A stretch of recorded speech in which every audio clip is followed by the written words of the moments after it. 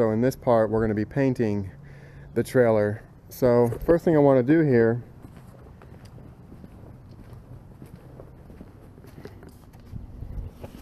I've got a cleaner degreaser. So this is specifically made for chassis and engine parts and things like that to degrease them before painting. So according to the directions on this, you want one, one part degreaser to about four parts water and you want to add hot water.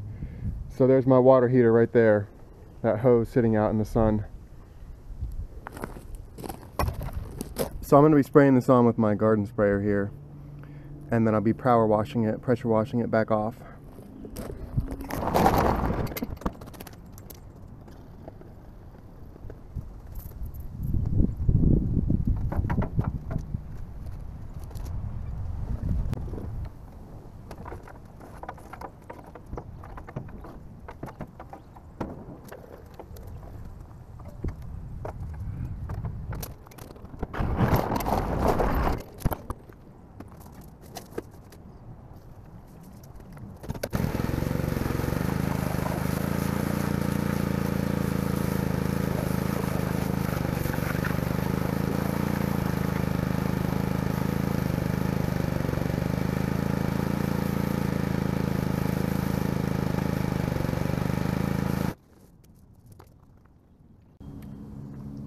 I just finished pressure washing this trailer, so now I'm going to back it into the sun.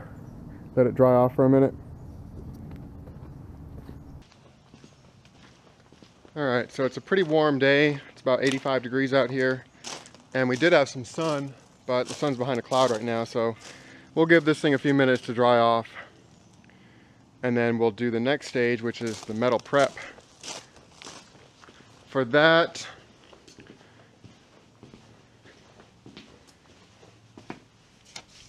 I have this stuff here, metal prep, metal etching rust neutralizer, prepares surface for best adhesion of rust preventive coating. So this is a rusty metal prepper. This metal prepper, you basically spray it on, keep it wet for about 20 minutes, and then rinse it off.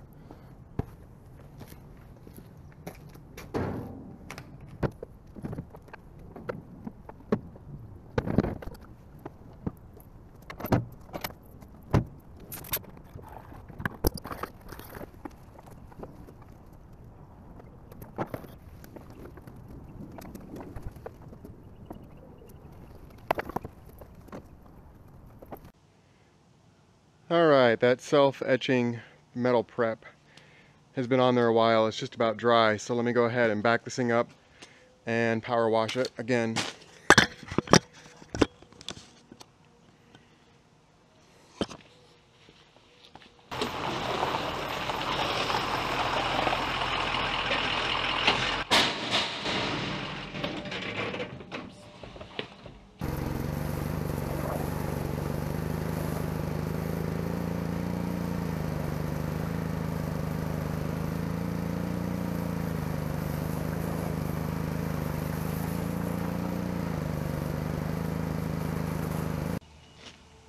The directions for that metal prep said the metal has to be bone dry before you can start painting it. So this might be a good chance to go take this thing out on the road and see how it does. That'll get it dry.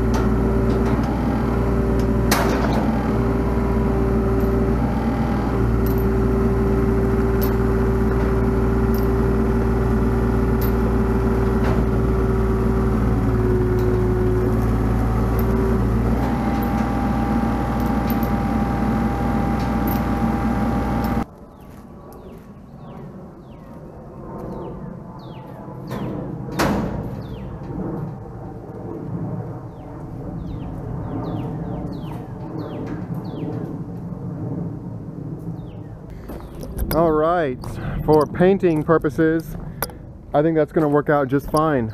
See if I can get this thing painted on the underside here with some primer. There are lots of different options for spraying this paint, and I chose to use my airless paint sprayer here. I have probably sprayed at least 100 buckets of paint through here, 5 gallon buckets, so I'm very familiar with it, but spraying this oil-based paint was really, really awful. And so I think if I had it to do again, I would have just rattle canned this whole trailer instead of screwing around with this paint sprayer. So the sped up sections you're about to see look look like it went really really well, but it was it was just horrible.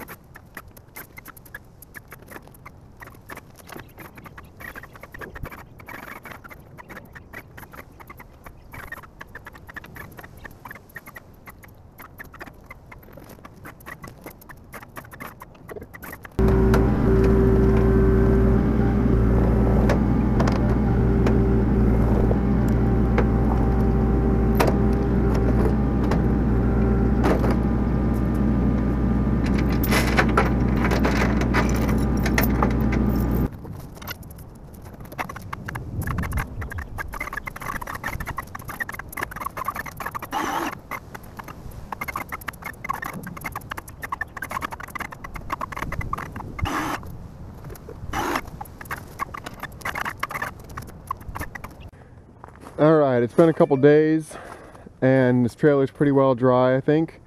So it's time to put a coat of my yellow that I'm gonna do here.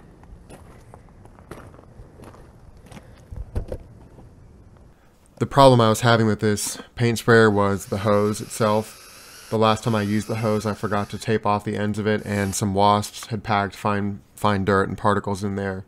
And I thought I cleaned the hose out, but it was just jamming up the tip and in like every second was getting jammed. And so it was just really, really frustrating. I got covered in paint. That oil-based paint is super sticky and I just spent a bunch of money trying to get everything cleaned up afterwards and bought a new hose and it was just a terrible ordeal for me. I'm going to go ahead and end this video here. I didn't link any of the products that I used here. I'm not really sure that I would use them again because the paint doesn't seem to be holding up very well. And compared to some of the stuff I've done on my dump truck and other trailers with just rattle canning it, I think I may have just rattle canned this instead. The products and the paint were very expensive and I don't know that they really came out that great. Also, the yellow color, I think black would have been better, but I live next to South Carolina, which doesn't have trailer titles, and so a lot of trailer theft goes on here in North Carolina. And the number one deterrent to that is having a very conspicuous trailer. So I did want a very unique looking trailer, and I, I think I'm going to be touching up the yellow quite often. But other than that, I'm pretty happy with it.